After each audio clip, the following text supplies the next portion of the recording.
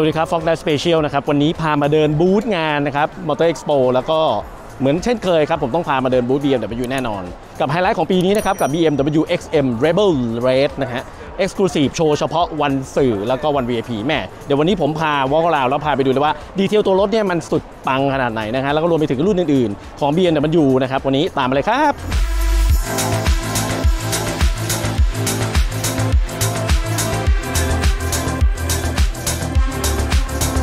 เริ่มจากคันนี้กันก่อนเลยนะครับ เพิ่งเปิดตัวไปแบบสดๆร้อนๆนะครับ กับ BMW i5 นะครับ ในรหัส eDrive40 M Sport รุ่นนำเข้านะครับ ที่ผมเพิ่ง present ไป คันนี้นะครับ เป็นรุ่นที่ย่อมเยาลงมาจากรุ่นตระกูล M60 X-Drive นะครับ แหม บอกเลยเลยว่า ราคาก็ดีนะครับ เพียง 4 9 9 9 9 0 0 0 บาท พร้อม BSI Standard สเปคตัวนี้อย่างที่รู้กันอยู่แล้วนะครับ มาพร้อมกับมอเตอร์เดี่ยวนะฮะที่กำลังสูงสุดอยู่ที่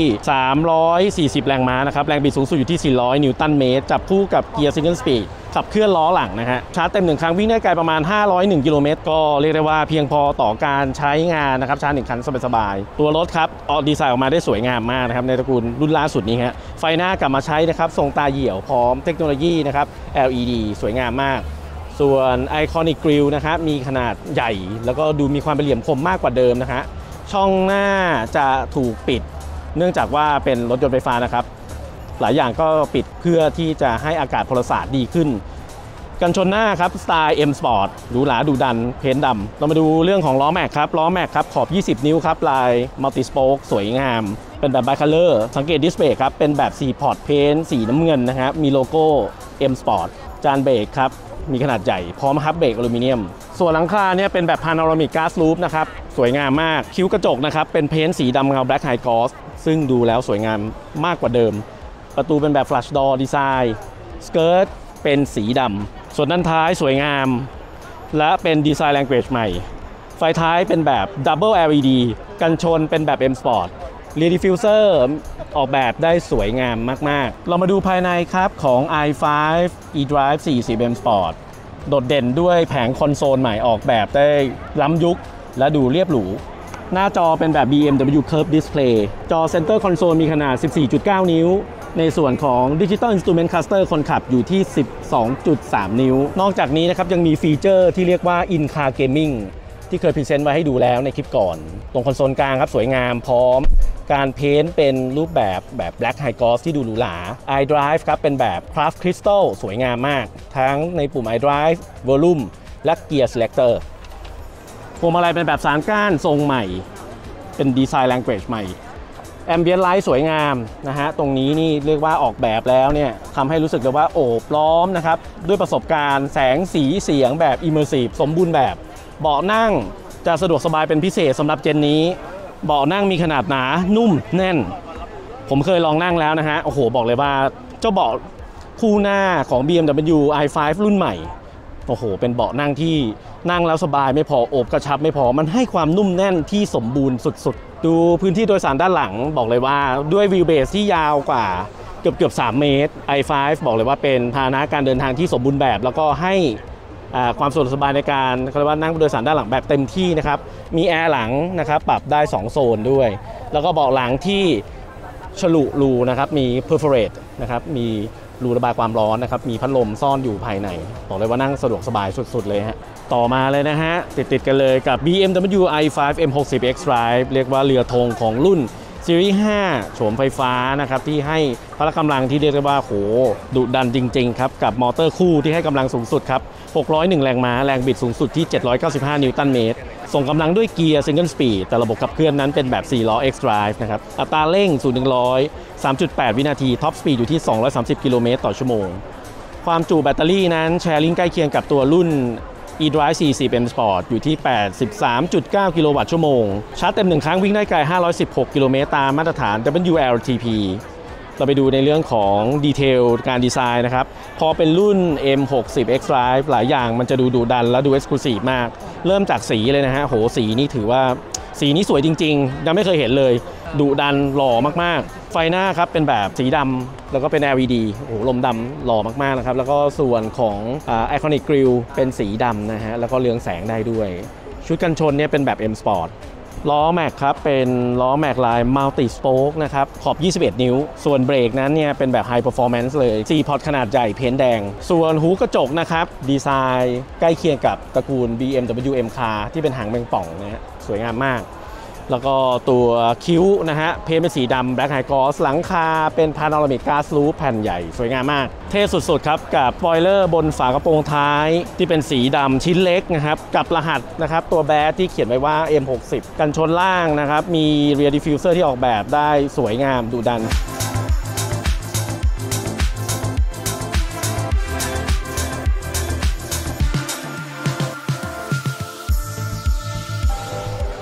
นี่แหละครับถือว่าเป็นไฮไลท์ของงานของ BMW ปีนี้นะครับ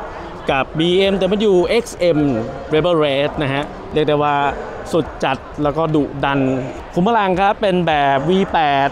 Twin Turbo นะฮะ ที่มีความจุกระบอกสูบอยู่ที่ 4,395 cc นะฮะผสานกับมอเตอร์ไฟฟ้านะครับทำให้กำลังรวมนะครับของ XM Label Red เนี่ยอยู่ที่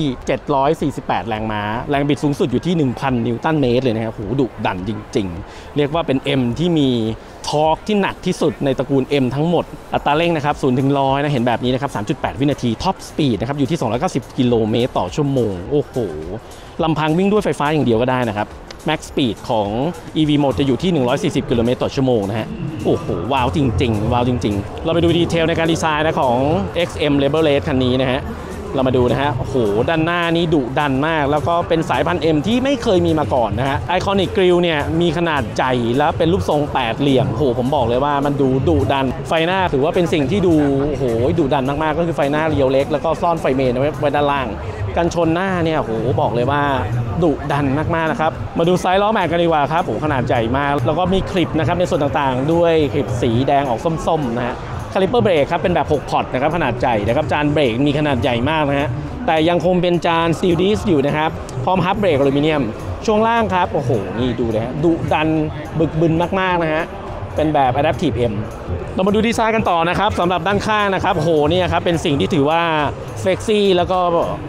กล้าหาในการดีไซน์มากๆด้วยการนะครับเดินคิ้วนะฮะที่เป็นสี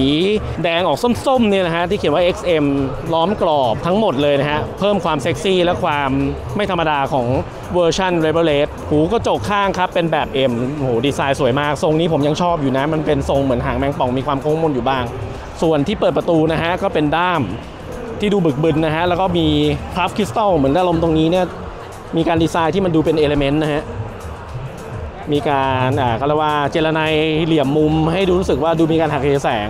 สวยงามมาก ส่วนด้านท้ายครับ เรามาดูครับโหดีไซน์ได้สวยงามดุดันจริง ๆ กับไฟท้ายที่เป็นรูปทรงเรียกว่า 3 มิติแบบสมบูรณ์แบบดูสวยงามมากๆ กับโลโก้ XM นะฮะ ที่เรียกว่าโหโดดเด่นมาก แล้วมีไซส์ขนาดใหญ่บึกบึน ส่วน Rear Diffuser นะครับ ออกแบบได้สวยงาม เซ็กซี่สุด ๆ นะฮะ นี่ สวยจริง ๆ นะครับ โอ้ดุดัน คุณมาดูปลายท่อไอเสียดีกว่า นี่แหละคือจุดที่เฟี้ยวสุดๆของเขานะครับ เป็นปลายท่อไอเสียออกแบบ quad tailpipe นะครับ แต่วางเป็น stack วางเขาเรียกว่าวางซ้อนเป็นด้านแนวตั้งนะฮะสวยงามมาก เป็นรูปทรงหกเหลี่ยมด้วย อะ เรามาดูจุดที่เป็นกิมมิคของเขานะครับ เป็นดีไซน์ที่ซ่อนไว้นั่นก็คือโลโก้ BMW นะฮะที่อยู่ตรงมุมของกระจกบังลมหลังนะครับ ขวาซ้ายนะครับทำให้รำลึกของทำให้ได้รำลึกนะครับดีไซน์ ที่แฝงโลโก้อย่างเงี้ยไว้ในตัว BMW M1 นะฮะเนี่ยเรียกได้ว่าเท่จริง ๆ XM นะครับนอกจากจะแรงหรูแล้วนะครับยังเขาเรียกว่าให้ออปชันที่ดีมากๆ นั่นก็คือประตู Soft Close นะครับสำหรับความหรูหราระดับนี้เรามาดูภายในนะครับ โอ้โห ของ XM Label Red บอกได้เลยว่า ดุจัดไม่พอนะครับ ภายในอย่างเฟี้ยวนะฮะโอ้โหภายในนี่ดุดันมาก ตกแต่งด้วยเฉดสีที่เรียกว่าสนุกมากๆ เริ่มจากนะครับช่องแอร์นะครับที่เพ้นเป็นสีแบบออกส้มๆนะฮะสวยงามเท่สุดๆนะฮะตัดกับสีฟ้าที่เป็นแอมเบียนไลน์เนี่ยเบรกสีได้สวยและจีจ๊าดมาก แผงคอนโซลนะครับเป็น dry carbon M dry carbon ที่บอกเลยว่า exclusive สุดๆพวงมาลัยเป็น 3 ก้านนะครับโอ้โหสวยมากแล้วก็เป็นแบบสไตล์ M นะครับพร้อม M button นะครับ M1 M2 ต่อมาครับ ตัวแผงคอนโซลเนี่ยบอกเลยว่าเป็นดีไซน์เฉพาะของ XM จริง ๆ นั่นก็คือแผงคอนโซลที่เป็น unique design ของเขานะครับ สวยงามมากแล้วดูบึกบึนอ่านี่ครับตกแต่งด้วย dry carbon นะครับ สังเกตเกร็ดลาย M carbon นนะครับ ของ XM Label Red นี่ไม่ธรรมดา แซมด้วยสีออกส้ม อยู่ภายใน element ของคาร์บอนไฟเบอร์ด้วยนะฮะ สวยมากนะครับ แล้วก็ตรงช่องแอร์ครับ มีโลโก้ XM นะครับ โอ้ นี่เป็น Limited Edition ด้วยนะครับเนี่ยมี Limited Number นะครับรันไว้ที่1 slash 500นะครับ1ใน 500 คันอยู่ที่นี่แล้วนะฮะแล้วก็หน้าจอครับ BMW Curve Display รันด้วยระบบนะครับ BMW Operating System 8 นะครับ สวยงามแล้วก็ทันสมัยสุดๆ นะครับ แผงคอนโซลกลางนะฮะ ใช้เป็น dry carbon โห สวยมากนะฮะ แล้วก็ element เนี่ย ดูนะฮะดู detail ด้านในนะครับ มันจะเป็นมีแซมสีออกส้มๆ เข้ามาด้วยนะครับ ในการถักทอ detail ของ dry carbon นะฮะสวยมากนะครับ เราดูไปตรงแผงประตูฝั่งนู้นนะฮะนี่ก็คือเป็นกิมมิคในการออกแบบที่สวยสดงดงามและกล้าเล่นสีมากๆครับเกล็ดแอร์นะครับในช่องแอร์เป็นสีแดงออกส้มนะครับตัดด้วย ambient light สีฟ้านะครับแล้วก็เดินด้ายสีส้มตัดกับสีดำของพื้นผิวหนังโอ้โหสวยจริงๆ ต่อมาครับสิ่งสุดท้ายนะฮะนั่นก็คือเบาะนะครับ เบาะนี่บอกได้เลยว่าอารมณ์เดียวกับ BMW M5 เลย ผมจำได้นะฮะ สวยงามมากเบาะนี่ทั้งหนาทั้งนุ่มแล้วก็มีตัวนะครับบีบเอวนะฮะ แล้วก็บีบน่องเนี่ยเป็นแบบทรงสปอร์ตเหมือนสไตล์เดียวกับ M5 เลย พร้อมกับเนี่ยครับตัวโลโก้นะครับที่หัวหมอนที่ฝังไว้ว่า XM แล้วก็ตัวเบาะเนี้ยเป็นสี two-tone นะฮะ ท่อนบนเป็นสีออกแดงส้มนะฮะ ตัดด้วยด้ายส้มนะฮะกับเบาะสีดำโอ้โหเรียกได้ว่าสมบูรณ์แบบ เราไปดูภายในห้องโดยสารตอนหลังนะครับของ BMW XM r e v o l a t นะฮะผมว่าโดดเด่นก่อนเลยนะก็คือ Ambient Light นะครับที่อยู่บนฝ้าเพดานนะฮะที่เป็นแสงสีฟ้าอ่อนๆสวยมากแล้วก็โชว์ให้เห็นถึงฝ้านะครับฝ้าเพดานที่ไม่ได้เป็นรูปทรงเรียบๆนะครับไม่ได้เป็นพื้นผิวเรียบ แต่เป็นอ่าเขาเรียกว่าการใช้ผิวพื้นผิวนะฮะที่มีเหลี่ยมมุมที่สวยงามมากนะฮะโหเรียกว่ามีดีเทลอะบอกเลยรถคันนี้นะฮะแล้วดูเบาะหลังฮะโหโคตรเท่ เป็น Label Red ปุ๊บเนี่ยการใช้วัสดุตกแต่งหนังภายในเนี่ยจะเป็นสีออกแดงออกส้มนะฮะที่เป็นตัดดำนะครับแล้วก็เดินด้ายส้ม โหตัวผิวสัมผัสของเบาะนี่ผมบอกเลยเลยว่า เกินบรรยาย รถคันนี้เนี่ยทั้งเป็นรถ performance ที่รวมทั้งความหรูหราและความไม่ธรรมดาของการอาออกแบบของ BMW ยุคใหม่อย่างแท้จริงโหสวยจริงๆฮะเบาะหลังนี่นั่งสบายมากๆนะฮะแล้วรวมไปถึงนะครับ ตัวแอร์หลังเนี่ยมีความเขาเรียกว่าพร้อมสรรพมาเลยครับ เป็นแบบแอร์แบบ 2 โซน แยกซ้ายขวา แล้วก็มี USB-C พร้อมเลยนะด้านหลังนี่สวยมาก หลังเบาะนี่โหยสวยจริง ๆ นะฮะตรงนี้มีตัว cushion ด้วยนะครับ ที่ตัดเย็บได้เรียกว่ามี detail นะครับ แล้วก็มาถึงคิวเจ้าคันนี้นะฮะ ก็คือ BMW XM 50e นะฮะเรียกได้ว่าราคาย่อมเยากว่า จับต้องได้ง่ายกว่านะครับ ใน body XM เหมือนกัน BMW XM 50e นะครับมีให้เลือกนะครับทั้ง 2 เวอร์ชันนะครับในรุ่นปกติก็คือ XM 50e ในราคานะครับ6ล้าน799,000 บาทนะครับ ส่วนคันที่โชว์อยู่คันนี้นะครับที่งานมอเตอร์โชว์ณวันนี้เลยเนี่ยจะเป็นรุ่น XM 50e Shadowline มีการตกแต่งพิเศษเสริมเติมเข้ามาในเรื่องของกระจังหน้านะครับแล้วก็ล้อแม็กที่มี ขอบ 23 นิ้วลายเทพกว่า ในราคาที่แพงขึ้นมาอีก 200,000 ครับ อยู่ที่ 6 ล้าน 9 9 9 0 0บาท เราไปดู detail ของ XM 50e Shadowline ของคันนี้กันครับโหเรามาดูความงดงามของตัว XM 50e นะฮะ บอกเลยว่าถอดแบบมาจากตัว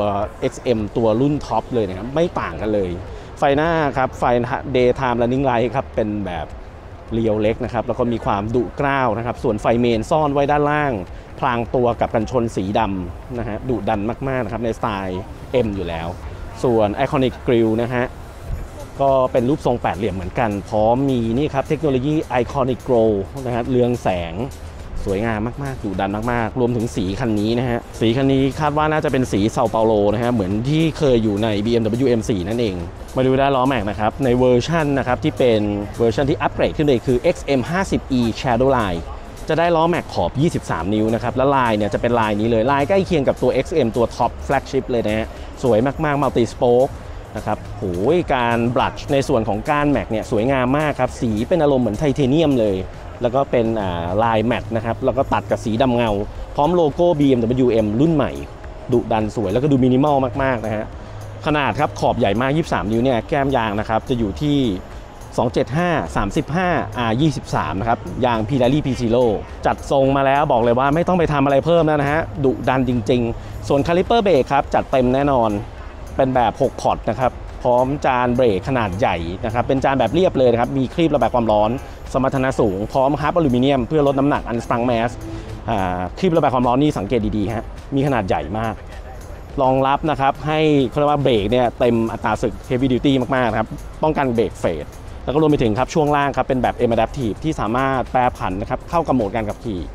นี่เรียกว่าบอกเลยว่าคันนี้นี่จัดเต็มขับสบายไม่พอซิ่งก็ดี ไปดูล้อหลังนะครับล้อหลังจะเป็นไซส์ต่างขนาดนะฮะตามสูตรลดแรงครับหลังต้องใหญ่กว่าหน้าเพื่อเอานะครับแรงขับลงสู่พื้นได้เต็มที่ฮะด้วยขนาดครับ31530 R 23นะครับ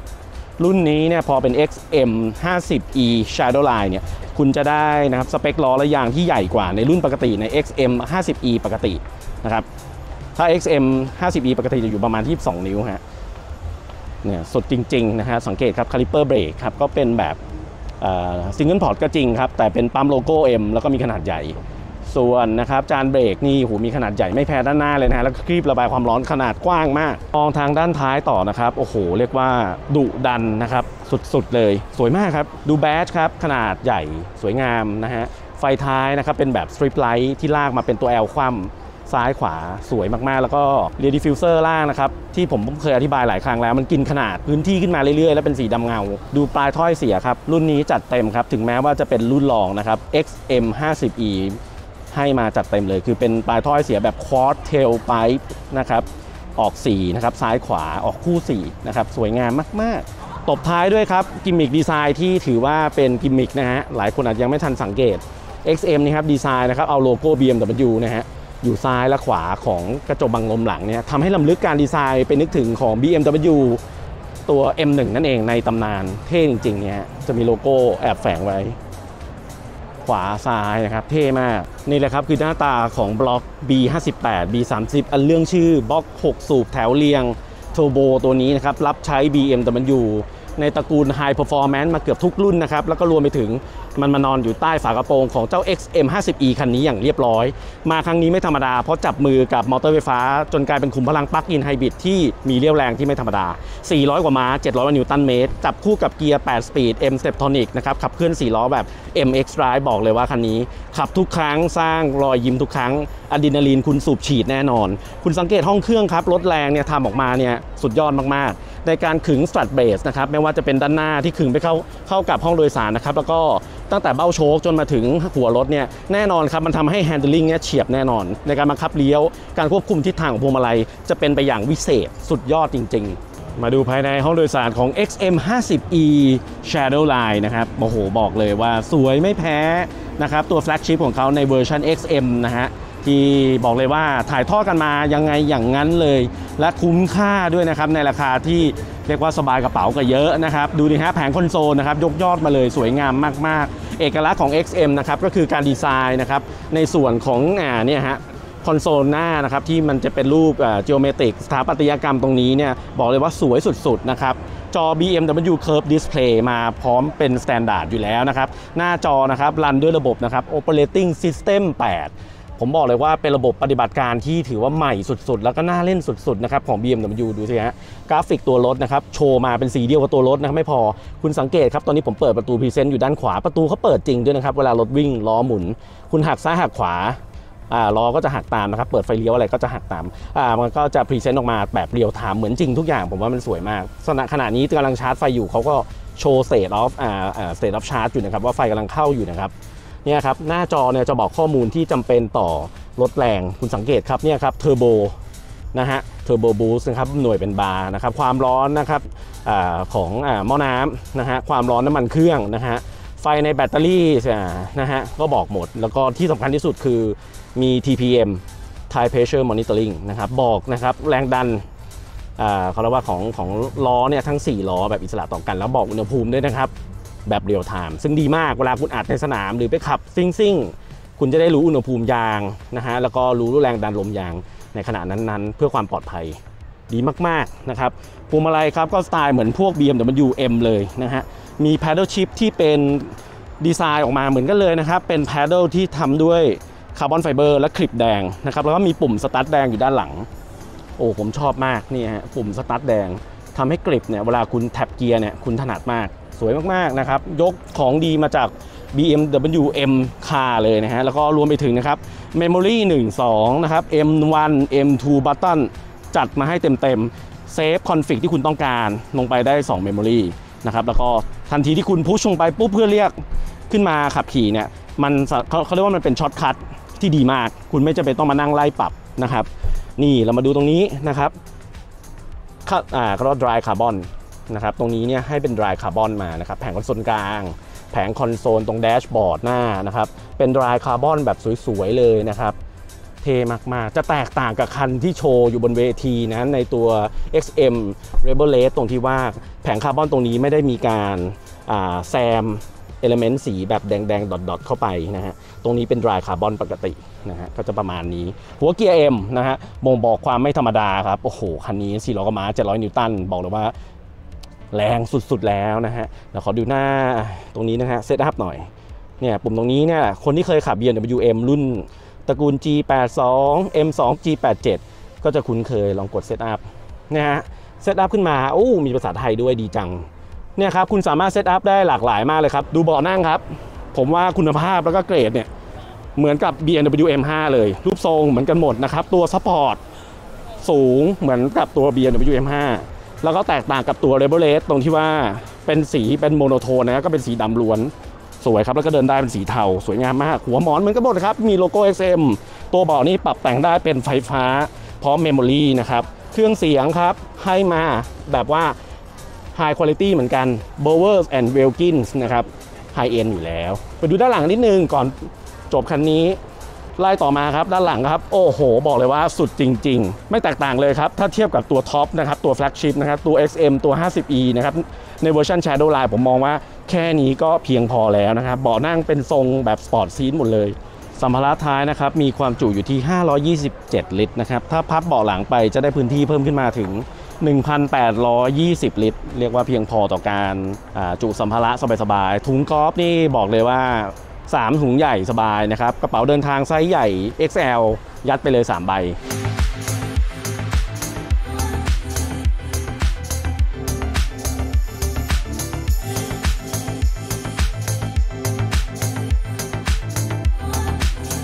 ต่อกันด้วยคันนี้นะครับ กับ BMW 740D M Sport นะฮะ ที่เรียกว่า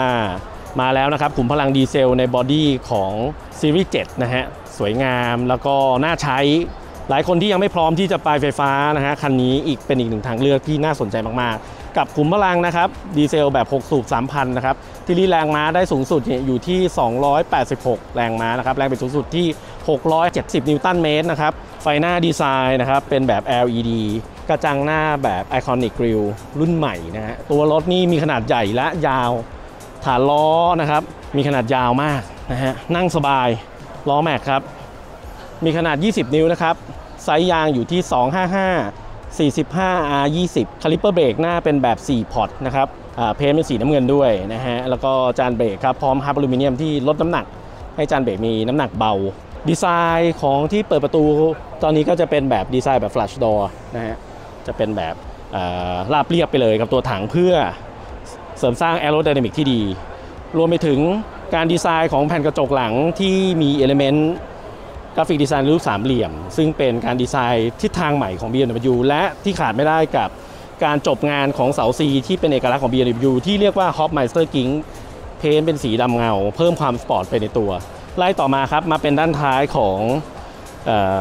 740D คันนี้ยังคงความหรูหราภูมิฐานมีระดับไว้เต็มที่ ด้านท้ายมีขนาดหนาบึกบึน ไฟท้ายนะครับ เป็นรูป L shape ที่สวยงามมากเป็น LED ส่วนภายในนะฮะไม่ต้องพูดกันเยอะครับ ระดับซีรีส์7แล้วหรูหรา มีระดับแล้วก็ถือว่าเป็น benchmark ของคลาสดูภายในครับ คอนโซลหน้านะครับ ออกแบบได้สวยมากนะครับ ตรงนี้มีลักษณะของเส้นที่ไขว้ไปนะฮะสวยงามมาก แผงคอนโซลดูเรียบง่ายแต่ลาดเทนะครับ ให้ทัศนวิสัยที่ดีมาก เพราะผมเคยขับแล้วนะฮะ ส่วนนะครับจอ BMW Curve Display เป็นมาตรฐานใหม่ของรถ BMW รุ่นใหม่ทุกรุ่นนี่ครับมาแล้วครับ BMW Theater Screen โอ้โหสุดๆ โอ้โห นี่ฮะ เห็นไหมครับกำลังรันอะไรอยู่นะครับ โปรแกรมการดูหนังนะฮะ ได้หมดเลยครับ YouTube นะฮะ มาหมดครับ Netflix นะฮะ Prime Video นะครับ แล้วก็เป็นอินเทอร์เน็ตเบราว์เซอร์ในตัวนะครับ จอตัวนี้นะครับเขาเรียกว่าทิวเอนได้ เลื่อนหน้าเลื่อนหลังได้ นี่ผมกดเลื่อนมานะฮะ เลื่อนไปหลังก็ได้ เลื่อนมาหน้าก็ได้ ทิวเอนก็ได้ อะต่อมาครับมาดูเบาะนั่งครับ เรียกได้ว่าสุดๆเลย บอกเลยนะว่าพนักพิงนะฮะตัวของตัวเบาะเนี่ยสุดๆแล้วสำหรับรถยนต์ในยุคนี้นะฮะโหสุดๆจริงๆเพราะเคยนั่งแล้วว่ามันนั่งสบายจริง ๆ ต่อกันด้วย SUV ทรงพลังที่จะเป็นที่ฮอตฮิตนะฮะกับผลงานที่ขายดีเหลือเกินใน gen ก่อนหน้านี้นะครับแต่ตอนนี้มาใหม่แล้วกับ The New BMW X5 xDrive 50e M Sport นะครับรุ่นปลั๊กอินไฮบริดนั่นเองครับ มาดูสเปคของขุมพลังกันดีกว่า เห็นแล้วตกใจนะฮะ ด้วยขุมพลังนะครับ 6 สูบแถวเรียง 3,000 รวมกับมอเตอร์ไฟฟ้านะครับทำให้ system รวมเนี่ยมีแรงม้าสูงสุดถึง 489 แรงม้า แรงบิดสูงสุดอยู่ที่ 700 นิวตันเมตรนะครับ บอกเลยว่าแรงและประหยัดด้วยนะฮะ เพราะผมก็เคยขับ gen เก่ามาแล้วนะฮะ ซึ่ง gen ใหม่เนี่ยได้รับการปรับปรุงดีไซน์สวยขึ้น แล้วก็ manage ในเรื่องของทรัพยากรในเรื่องของการใช้น้ำมันเชื้อเพลิงที่ประหยัดขึ้นด้วยนะเรามาดูเรื่องของดีไซน์ครับ ไฟหน้าใหม่นะฮะ สวยงาม detail ดูเป็นรูปทรงลูกศรสวยงามมากกว่าเดิม กันชนหน้านะครับ เป็นแบบ M Sport ก็จะหลมดำในทุกส่วน ล้อแม็กขอบ 21 นิ้วครับ ลาย wide spoke display ครับ เป็นแบบ 4 พอร์ตนะครับ ขนาดใหญ่ เพ้นท์สีน้ำเงิน ตามสไตล์ M Sport แล้วก็จานเบรกครับ มีขนาดใหญ่มากครับ พร้อมฮับเบรกอลูมิเนียม พร้อมคลีประบายความร้อน ช่วงล่างเป็นแบบ M Adaptive ไฟท้ายดีไซน์ใหม่นะครับ เป็นรูปทรงลูกศรโอ้โหอันนี้ถือว่าสวยงามมากๆนะครับ ถ้าเทียบกับรุ่นเก่า ส่วนปลายกันชนนี้ก็จะเป็นแบบ M Sport แล้วก็ปลายท่อเนี่ยดีไซน์เป็นทรงสี่เหลี่ยมคามูดมาดูภายในของ The New X5 กันนะฮะแหมในรหัส X-Drive 50e M Sport จัดเต็มฮะแผงคอนโซลเนี่ยดูมีความเป็นเอกลักษณ์ที่สวยงามของเขามาก ๆ เลยนะครับ เพราะว่ามันเป็นดีไซน์ที่ลาดเท สวยสุดๆ กับหน้าจอครับ BMW Curve Display ซึ่งเป็นมาตรฐานใหม่ อย่างที่ย้ำไปแล้วหลายคันนะครับของ BMW เกือบทุกรุ่น ตรงแผงคอนโซลกลางครับ โดดเด่นตกแต่งด้วยวัสดุ M คาร์บอนนะฮะ ส่วน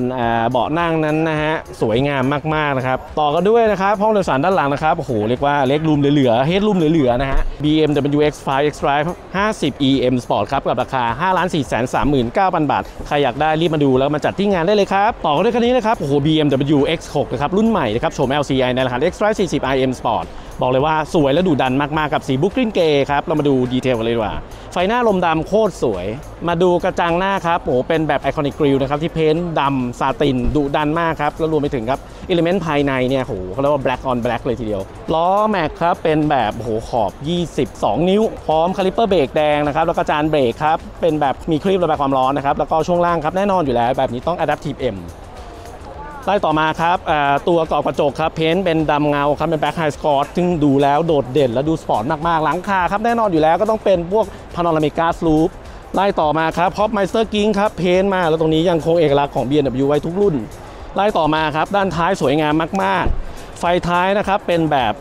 light bar นะครับซึ่งถือว่าโดดเด่นมากๆ แล้วก็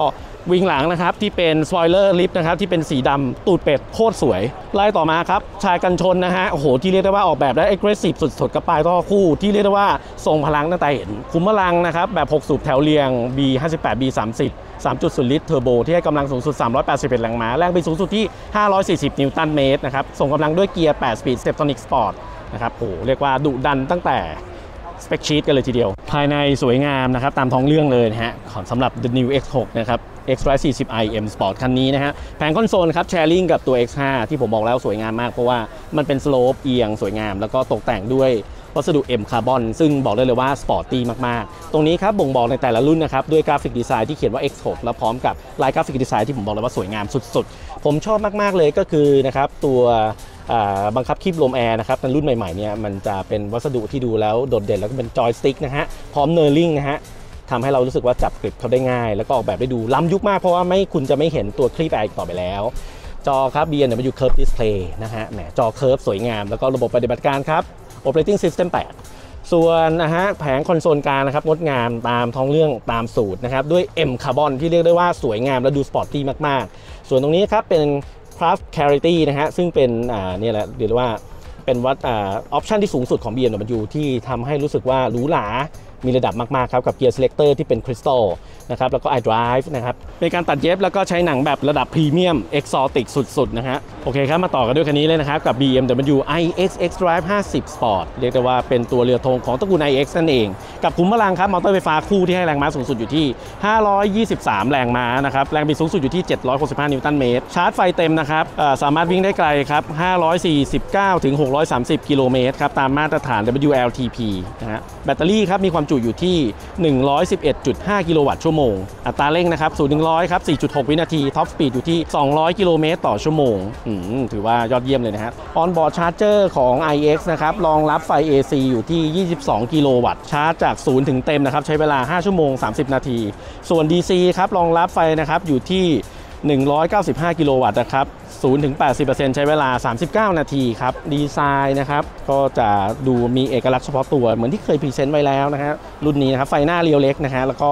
กระจังหน้าครับเป็นแบบ iconic grille ที่มีเอกลักษณ์เฉพาะตัว แล้วก็เป็นแบบสถาปัตยกรรมแบบปิดนะครับเพื่อแอโร d y นามิกที่ดีนะครับส่วนนะครับล้อแม็กนะครับมีขนาดใหญ่มากนะครับจัดเต็มครับในขอบ 22 นิ้วนะครับ 275 40 R 22 ส่วนการดีไซน์ของคันนี้นะบอกได้เลยว่าสวยสดงดงาม ภายนอกเป็นสีแดงแบบอารมณ์แบบสีแดงเบอร์กันดี ตัดด้วยขอบเป็นสีทองนะครับ gold bronze ที่สวยงามมากอารมณ์เดียวกับ Iron Man สวยงามจริงๆฮะแล้วก็ดูที่เปิดประตูครับเป็น flush door design ดีไซน์เป็นรุ่นแรกของ BMW ที่กลับมาใช้ที่เปิดประตูแบบนี้นะฮะแล้วก็เป็นสีทอง matte ตัดกับสีเบอร์กันดีโอ้โหโคตรคลาสสิกนะฮะตัวกรอบกระจกนะฮะก็จะ running ด้วยด้านล่างเนี่ยจะเป็นสีโกลบรอนซ์หมดเลยครับ สวยงามมากๆ เรามาดูภายในกันเลยครับ ภายในนะฮะสวยสดงดงามมากๆครับกับสีนะครับ ส่วนพวงมาลัยครับสวยสดงดงามมากก็จะเป็นรูปทรงที่มีลักษณะที่เป็นเหมือนใกล้เคียงกับแปดเหลี่ยม สวยงามมากท้ายนะครับ เป็นแบบ flat button ส่วนหน้าจอครับ นี่เป็นรุ่นแรกเลยที่ใช้ BMW Curve Display สวยงามมากๆนะครับ จอ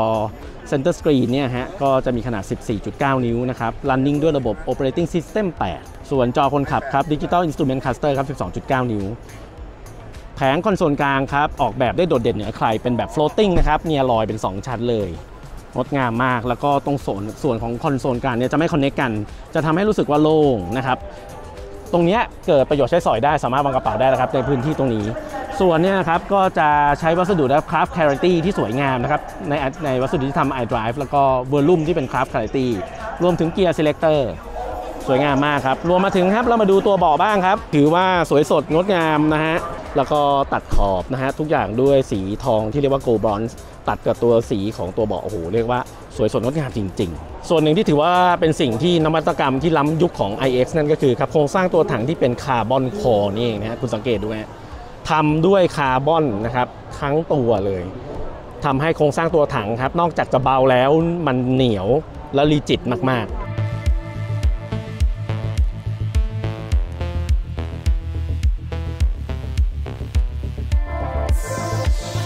โอ้โห คันนี้เรียกได้ว่าเป็นอีกหนึ่งคันที่โดดเด่นมาก ๆ เลยนะครับ กับ BMW 430i Convertible M Sport โอ้สวยจริง ๆ ก็คือซีรีส์ 4 คูเป้ที่มาถอดหลังคาทิ้งนั่นเอง เรียกได้ว่าสวยสดงดงามจริง ๆ คุ้มพลังครับ คุ้นหน้าคุ้นตากันดี ในราคา 30i เรารู้อยู่แล้วนะครับ นั่นก็คือครับบล็อก B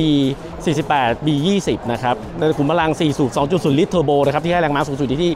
258 แรงม้า แรงบิดสูงสุดอยู่ที่ 400 นิวตันเมตรนะฮะ เรียกได้ว่า โอ้โหบล็อกตัวนี้เนี่ย หลายคนก็คงจะจำสมรรถนะมันได้ดีในรหัส330หน้ากันอยู่แล้ว ส่งกำลังด้วยเกียร์ครับ8 Speed Steptonic Sport นะครับของ BMW ขับเคลื่อนล้อหลัง หล่อไม่พอก็ขับมันยังคงเหมือนเดิม ในราคาครับ4 6 4 9 0 0 0 บาทนะครับ ใครสนใจก็มาดูตัวจริง มาถอยกันได้ที่งานเลยนะครับ ตอนนี้เรามาดู present ตัวรถกันดีกว่า สีน้ำเงินสดสดดิบดิบๆคันนี้เนี่ยทำยิ่งทำให้เขาเนี่ยดูโดดเด่นและดู luxury มาก ๆ ไฟหน้าเรียวเล็กนะครับ แล้วก็กระจังหน้านะครับ ที่เป็นแบบ iconic grille ที่เป็นสไตล์ของซีรีส์4นะครับที่เรียกว่าโหจมูกสวยงามมาก แล้วก็มี element ภายในที่ โดดเด่นนะฮะล้อแม็กนะครับจะเป็นลาย 5 ก้านคู่ครับ ขอบ 225 40 ZR 19 นะฮะสวยงามมากแล้วก็คาลิปเปอร์นี่จัดเต็มมาเลยครับหล่อแรงแล้วก็ต้องเบรกดีด้วยครับ กับล้ออาเบรกแบบ M Sport 4 pot นะครับ paint ด้วยสีน้ำเงิน หลังคาครับ พอเป็นแบบหลังคา Convertible เนี่ย บอกเลยว่าสวยสดงดงามมาก ๆ นะ เปิดหลังคาแล้วหล่อจริง ๆ นี่แหละคือจุดเด่นของเขานะฮะ เป็นแบบสีที่นั่งนะครับ สวยงามมากภายในนะครับ ตกแต่งด้วยสีดำนะฮะ ดูสุขุม นะครับ ด้าย stitching เป็นสี contrast นะครับ แล้วก็ตัวแผงคอนโซลครับ ก็ sharing การดีไซน์มาจากตัว BMW Series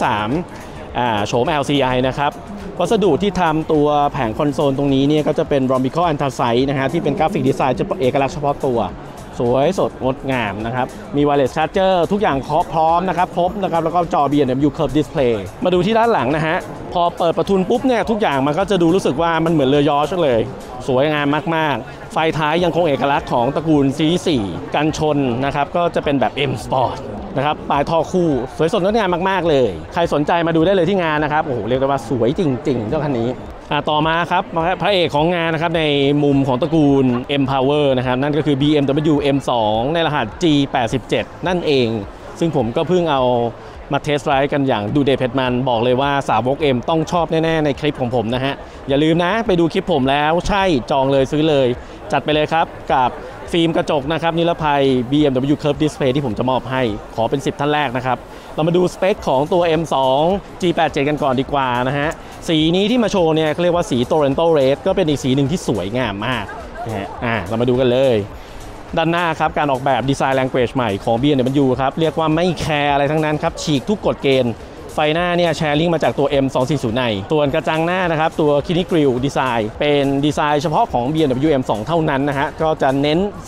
ในรูปทรงสี่เหลี่ยม square เข้ามาในการดีไซน์ทั้งหมดเลย เท่มาก ๆ นะครับ รวมไปถึงช่องดักอากาศ Air Inlet ทั้ง 3 ช่องเนี่ย บอกได้เลยว่าแรงบันดาลใจเนี่ยใช้รูปทรงสี่เหลี่ยมเท่านั้นเลย ดุดันมาก Power Dome บนฝาโปรงยังคงอยู่ ไล่ต่อมาครับล้อแม็กครับเป็นแบบหน้าเล็กหลังใหญ่ครับขอบ 19 หน้าหลัง 20 นิ้วนะฮะด้านหน้าเนี่ยผมบอกเลยว่าไม่ได้ธรรมดานะครับกับไซส์ยางที่บอกเลยว่าสุดๆไปเลยขนาดนะครับใหญ่มาก ๆ 275 35 ZR19 ยางมิชลิน Pilot Sport 4S มาตรฐานมาเลย เรียกว่ายางดีมาตั้งแต่กำเนิดแต่เรามาดูในเรื่องของลายล้อแม็กครับ สวยมากครับ เป็น wide spoke เป็นแบบ detail ในการออกแบบนี่สวยมาก และเป็น two tone ด้วย ส่วนคาลิเปอร์เบรกครับจัดเต็มมาให้ตั้งแต่ต้นเลยคาลิเปอร์6 pot นะฮะแล้วก็จานเบรก cross drilled disc ที่เป็น hub อลูมิเนียมแล้วก็เจาะรูระบายความร้อน แล้วก็มีครีบระบายความร้อนด้วย ช่วงล่างครับเป็นแบบ M Adaptive นะครับ ผมบอกเลยว่า M2 gen นี้นะครับ G87 ขับสบายมาก ถ้าเทียบกับ gen ก่อนหน้านี้ในรหัส F87 ลดความกระด้างใช้งานในเมืองได้ดีมาก ส่งกำลังด้วยเกียร์ M Steptronic นะครับ แบบ 8 speed ของ ZF บอกเลยว่าโหเปลี่ยนเกียร์ได้ smooth มากๆ เวลาเราขับนะฮะในเมืองใช้งานในเมืองในความเร็วต่ำเนี่ยแตกต่างอย่างชัดเจน แปลว่าคุณสามารถขับ M car เนี่ยได้ทุกวัน เรามาดูมุมมองทางด้านนี้กันบ้างนะโอ้โหสวยงาม ตัวรถเนี่ยจะดูมีรูปทรงที่ค่อนข้างดูเหลี่ยมนะครับแล้วดูเป็นกล่องนะฮะหลายคนจะหวนให้ลำลึกถึง BMW M3 ในรหัส E30 นั่นเอง สวยมากครับหูกระจกครับเป็นสไตล์ M อย่างที่เมื่อกี้เกรินไว้ในตัว i5 M60 X Drive นะครับก็จะเป็นหางแมงป่องแบบนี้ เท่จริงๆ หลังคาครับ มาพร้อมกับเป็น standard option ของสเปค BMW ประเทศไทยก็คือเป็นหลังคาคาร์บอน น้ำหนักเบาไม่พอเฟี้ยวสุดๆไล่ต่อมาครับ โป่งหลังนะฮะที่ถือว่าเป็นเอกลักษณ์ของเขาโป่งนี้เป็นรูปทรงสี่เหลี่ยมเลยโอ้โหถือว่าถือว่าสวยงาม แล้วก็ดุดันจริงๆ aggressive ในทุกมุมมอง ด้านหลังครับโดดเด่นด้วยสปอยเลอร์หลังชิ้นเล็กครับบนฝากระโปรงท้ายนะครับ แล้วก็มุมมองทางด้านหลังที่บอกเลยว่า ดูแล้ว เฟี้ยวสุดๆ ด้วยรูปทรงนะฮะที่เป็นรูปทรงแปดเหลี่ยม ด้วยเชฟของเขาแล้วก็ตัวสะโพกบอกเลยว่ารถคันนี้มีมัดกล้าม อุดมไปด้วยมัดกล้าม ส่วนนะครับไฟท้ายนะฮะรูปทรงแบบนี้ดูแล้วนะฮะทำเป็นเล่นไปพอคุณมาดูตัวจริงเนี่ยคุณจะรู้สึกว่าจะหลงรักมัน เพราะว่ามันเป็น 3D ดีไซน์ครับทุกอย่างมีความลึกมีรูปทรงมีเชฟนะฮะลมดำสวยงาม แล้วก็เป็นรูปตัวแอลความ ส่วนตัวผมชอบมากตรงชายกันชน ชายกันชนด้านนี้นี่โหบอกเลยเลยว่าสวยงามมากๆนะครับ เป็นสี่เหลี่ยมนะครับแล้วก็มีปลายท่อเสียแบบคอสเทลไป สังเกตนะครับปลายท่อนะฮะขนาดเท่ากำปั้นเลย ใหญ่บลากักสวยงามมากๆนะฮะดุดันในทุกมิติในทุกมุมมอง เรามาดูในเรื่องขุมพลังนะครับขุมพลังของเจ้า M2 ตัวกูล G87 นะฮะ ก็ใช้ขุมพลังนะครับเหมือนตัว M4 M3 Competition เป๊ะเลยนะฮะ ด้วยบล็อก S58 ที่สามารถรีแรงม้าสูงสุดนะครับ อยู่ที่ 460 แรงม้าครับ แรงบิดสูงสุดนั้นอยู่ที่ 550 นิวตันเมตร จับคู่กับเกียร์ M Steptronic 8 Speed ขับเคลื่อนล้อหลังครับ พร้อมเฟืองท้าย Limited Slip Differential ที่ควบคุมด้วยอิเล็กทรอนิกส์โอ้สุดยอดจริง ๆ อัตราเร่งครับ0 100 4.1 วินาที top speed 289 กิโลเมตรต่อชั่วโมง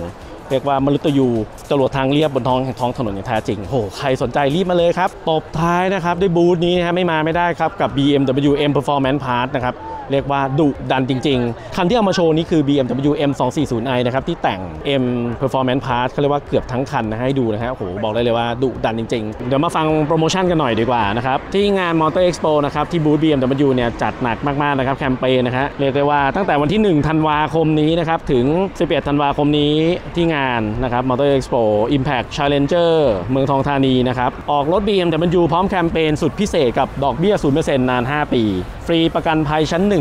BMW Protect นาน 3 ปี ดาวน์0บาทครับ โอ้โห แล้วก็ฟรี wall charge ครับสำหรับการสั่งจองในงานในรุ่น BMW i Series ครบทุกรุ่นนะครับ รับไปเลยฟรี wallbox สำหรับคนที่จองในงานนะครับ นอกจากนั้นเนี่ยจะได้นะครับรถโมเดล BMW คามูลค่า 3,000 บาทด้วยนะครับ รับไปเลย เป็นรุ่น iconic สวยๆ ทั้งนั้นเลยนะฮะ นอกจากนี้นะครับใครที่มาดูแล้วอยากจะลองขับนะครับทาง BMW ประเทศไทยก็จัดโซนในการเทสต์ไ i ์ไว้ครับในโซนด้านหลังของนะครับพอจัดแสดงนะครับก็จะมี BMW ให้มาเลือกขับเนี่ยหลักรุ่นเลยนะฮะตีตีไปก็ประมาณ 6 รุ่นด้วยกันครับไม่ว่าจะเป็น X1 S Drive 20i X Line BMW 220 iM Sport BMW 330 e M Sport BMW i5 e Drive 40 M Sport BMW iX X Drive 50 Sport และ BMW XM 50e รีบไปเลยนะครับ คนที่อยากมานะครับในงาน Motor Expo ผมบอกเลยว่าจัดใหญ่ รถมาโมเดลมาให้เลือกเนี่ยเพียบนะครับ หลายคนที่ ยังไม่เคยเห็นยังไม่เคยลองรีบมาเลยครับ ก็ขอจบคลิปกันไปแต่เพียงเท่านี้นะครับสำหรับแฟนๆ Fog Drive นะครับที่สนใจรถ BMW นะครับห้ามพลาดโดยการทั้งมวลนะครับรีบมาดูที่งาน Motor Expo ด่วนๆเลยนะฮะกับแคมเปญที่จัดไว้ดีๆ รอเพียบและรถยนต์โมเดลใหม่ๆของ BMW รุ่นใหม่เพียบเลย วันนี้ขอลาไปก่อนแล้วพบกันใหม่คลิปหน้าครับอย่าลืมกดไลค์กดแชร์กด Subscribe ให้ด้วยนะครับ สวัสดีครับ